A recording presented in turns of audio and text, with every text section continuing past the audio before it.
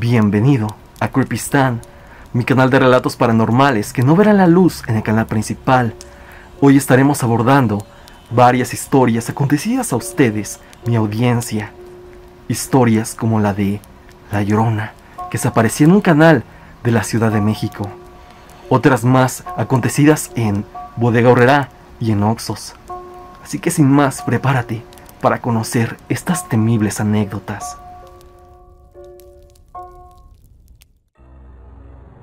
La Llorona en el canal. Amigos, la presente historia es contada por un familiar.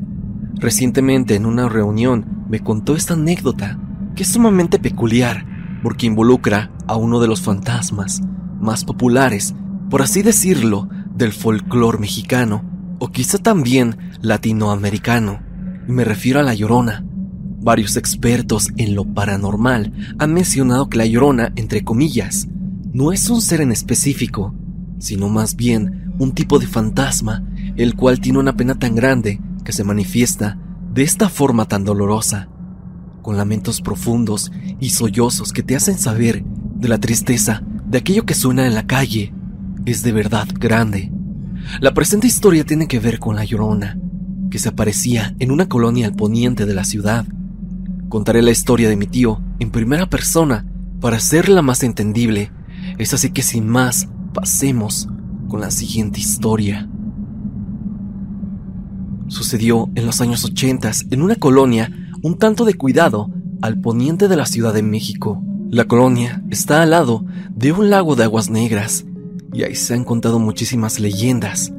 Hay una muy conocida que habla de que por ahí se aparecía una mujer con cara de caballo, que regularmente era vista por los borrachos del barrio o la gente que andaba muy noche en la calle. Ahora sé que esa mujer la llaman la cegua y que hay varias historias que le han pasado a todo tipo de gente, incluso en épocas recientes. Pero lo que yo viví no tiene que ver con este ser, sino con otro un poco más popular.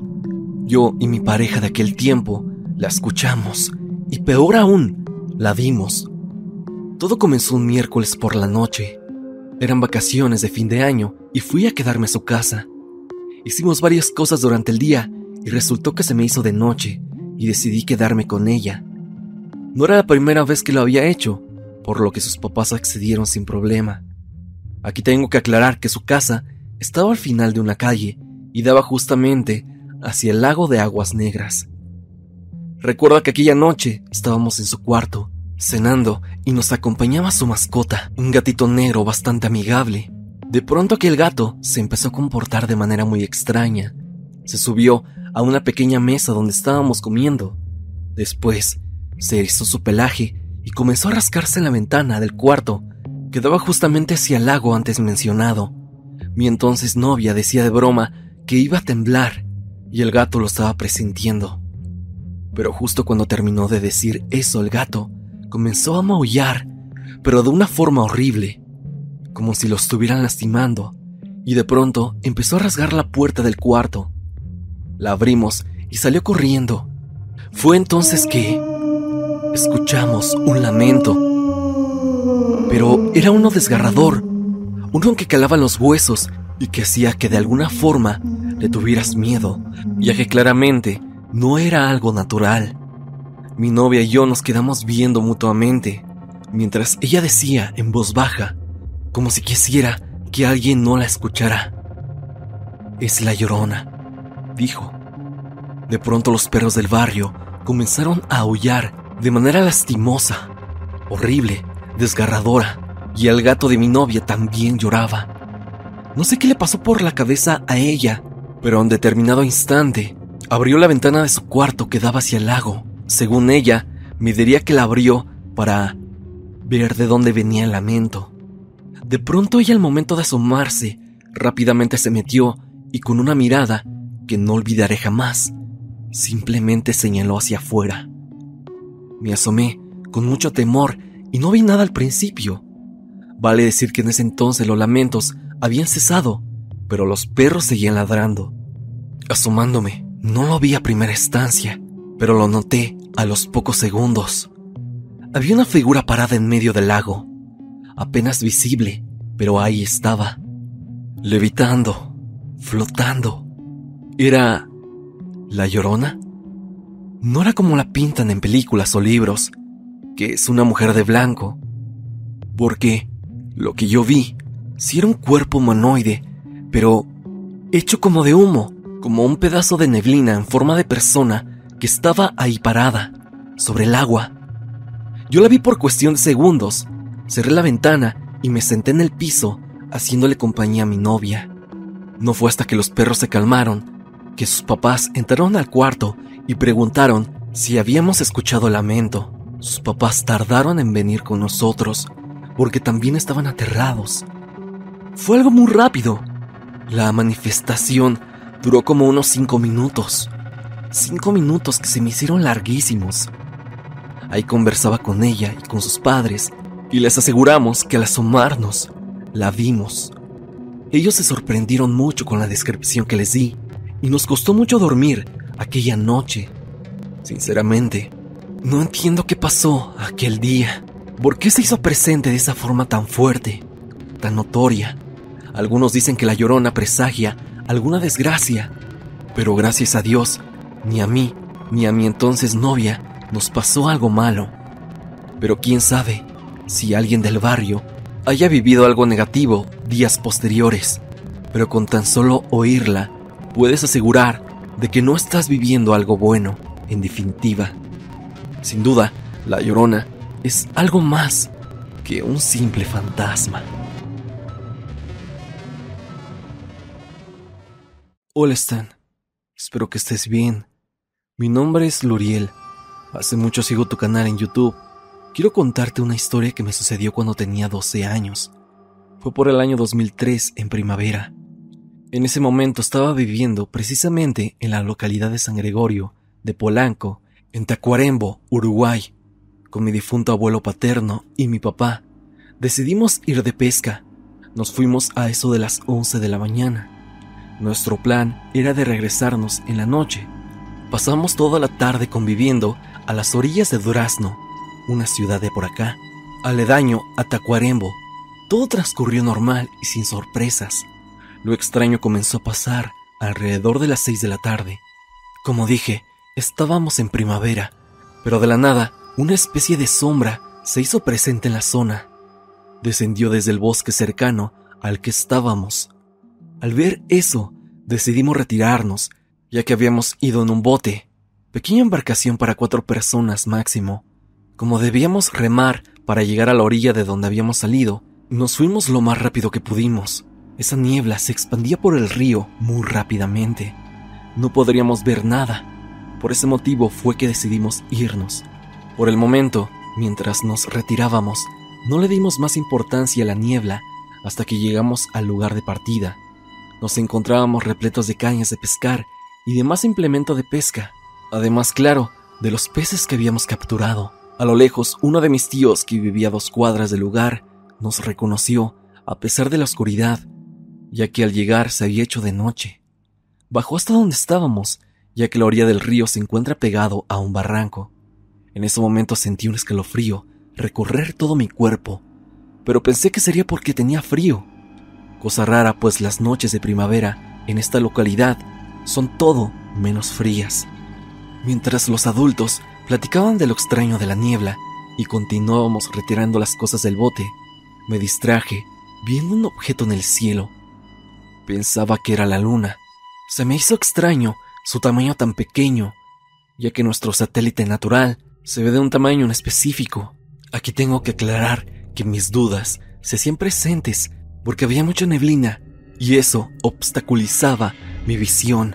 Pero aquí la cosa comenzó a ponerse extraña cuando mirando al firmamento me doy cuenta que la luna se estaba asomando por el lado opuesto a esta extraña luz, a lo que me detuve a ver más detenidamente el objeto. Esto no emitía sonido alguno, no era un avión ni un helicóptero, estaba estático y demasiado brillante. Al darme cuenta o creer saber lo que era, llamé la atención de mi tío y mi padre. Les dije, miren eso, mientras lo apuntaba con el dedo. Ellos también procedieron a verificar si no era la luna. Se dieron cuenta de que era algo más aterrador. De pronto la niebla se abrió, como si de una historia bíblica se tratara. La luz se hizo más intensa, como que descendió más. El agua quedó completamente despejada y pude ver como un haz de luz se reflejaba en el agua, como si de la aguja de un reloj se tratase. Ese reflejo se fue haciendo más largo y fino. Mientras ellos veían el objeto, me distraje viendo esa luz. Se hizo tan largo que a pesar de su distancia, logró llegar sutilmente hasta la orilla. Pero al prestar más atención, logré percibir que apuntaba a mi tío. Luego de eso, se desapareció el reflejo y el objeto volvió a descender su brillo. En un movimiento circular hacia la izquierda, desapareció de nuestras vistas como un rayo. No vimos a dónde se fue. Pasaron cinco días y no habíamos contado esto a nadie por miedo de que nos tacharan de locos. Pero ese día recibimos la noticia de que mi tío de la nada estaba hospitalizado y al borde de la muerte. No entendíamos el motivo, ya que se cuidaba mucho, hacía deportes y siempre comía saludable. Era simplemente inexplicable la situación. Esa noche de la noticia, recibimos un mensaje de su esposa, avisándonos que a las siete y media de la noche, lamentablemente mi tío había fallecido. Lo raro es que cinco días atrás estábamos apreciando el objeto y era esa misma hora cuando pude percibir el reflejo en el agua apuntándole. Deducimos que era una señal. Nos estaban informando de la partida prematura de mi tío y sigo sin saber qué fue ese objeto volador. Pienso que a lo mejor eran extraterrestres que vinieron a visitarnos. Pero ¿por qué la partida de mi tío? Esa es una pregunta que siempre tendré en mi mente.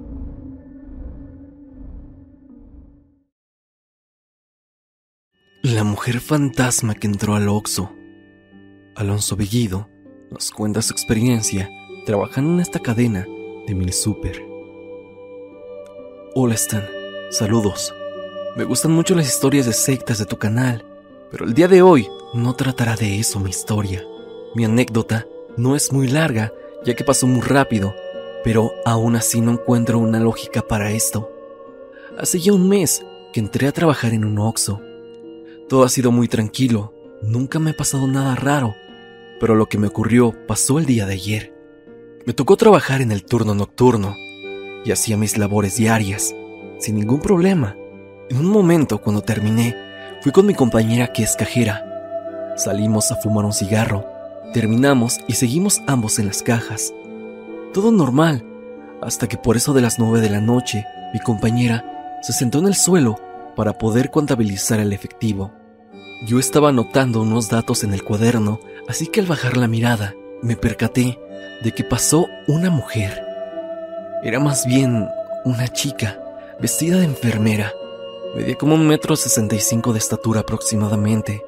Traía una mochila roja, pero no le vi el rostro, ya que pasó un poco rápido. Solo dijo buenas noches, a lo cual yo respondí con el mismo saludo, igual que mi compañera. Entró después otra señora a comprar un café, pero no demoró mucho. Pasaron aproximadamente como unos 15 minutos pero no vi que saliera esa chica vestida de enfermera. Mi compañera me dijo que saliéramos a fumar otro cigarro, pero yo le dije que estaba esperando a que saliera la chica para poder cobrarle.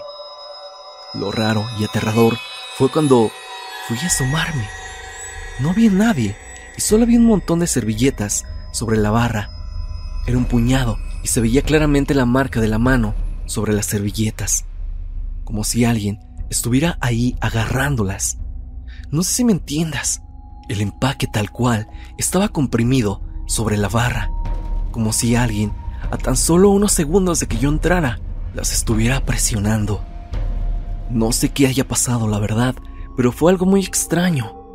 Solo le he contado a mis demás compañeros, pero algunos no me creen. Y esto es lo que me pasó, Stan. Yo sé que no es muy aterrador, pero para mí fue algo extraño, y que se une a la larga lista de experiencias extrañas en Oxos. Hay muchos trabajadores que en Internet han expresado sus experiencias paranormales y sé que si indagas encontrarás unas más fuertes que la mía. Shadow nos cuenta su experiencia en Bodega Ahorrera. Pasemos con ella. ¿Qué tal están? Esta es otra historia que pasa en los supermercados. Tengo amigos que trabajan en Bodega Horrera o Bodega Horrera Express. Comentan que en el transcurso del día pasan cosas raras, ya que son bastante notorios los fenómenos.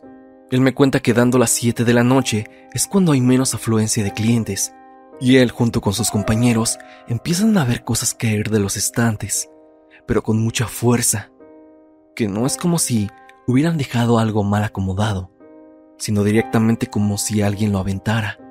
Pero él sabe y se da cuenta de que no hay nadie en los pasillos ni en los alrededores.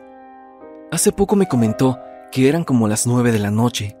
Ya no había gente en piso y solo eran dos personas, más el jefe de la unidad, cuando escucharon que mi amigo les había hablado, pero él ya no estaba. De repente escuchan un golpe que venía de las cámaras de refrigeración. Al ver, era la puerta de uno de los congeladores que se abría y cerraba con fuerza. Ellos estaban completamente asustados, viendo cómo pasaba el fenómeno y no había nadie cerca. Él me comenta que terminaron rápidamente la limpieza y se fueron. Al día siguiente, al abrir, ese refrigerador que se estaba azotando solo, vieron marcas de pies muy pequeños dentro del refri donde no había nada de producto. También parecían verse dibujadas manos, pero muy ligeramente, en el vidrio de la puerta. Era como si alguien hubiera entrado y se hubiera quedado allá adentro, pero obviamente ese alguien no era de este mundo. Justo al lado de ese bodega horrera, donde pasan cosas extrañas, hay una escuela. Y en pandemia, cuando los niños no iban a la escuela, se escuchaban risas de pequeños provenir de ella. También se escuchaban pisadas como si alguien corriera, así como se escucha hoy en día en el recreo. Esto ya lo he especulado yo, pero creo que tal vez los fantasmas de aquellos niños, si es que en verdad son niños, pasan al bodega horrera o se pasan a dar un paseo por la tienda. No lo sé, es tan solo una especulación, pero me aterra de solo imaginarlo. No sé qué crees tú, pero estoy seguro que en muchos bodegas ahorrará de toda la República siempre pasan este tipo de cosas. Hasta aquí el video del día de hoy. Espero que te haya gustado. Ya has escuchado cuatro historias de terror pertenecientes a ustedes, mi audiencia. Si tú quieres compartir tu experiencia paranormal, no lo dudes ni un momento y envíamela al correo evidencia.tristan.gmail.com o bien únete al grupo de Facebook y compártela con la comunidad. Recuerda que ya estamos en Spotify para que escuche las historias mientras haces tus labores diarias. Sígueme en redes sociales, ya sea Facebook, Instagram, todas las encontrarás en la descripción. Sin más que decir, no te olvides de que yo soy Stan y te deseo dulces pesadillas.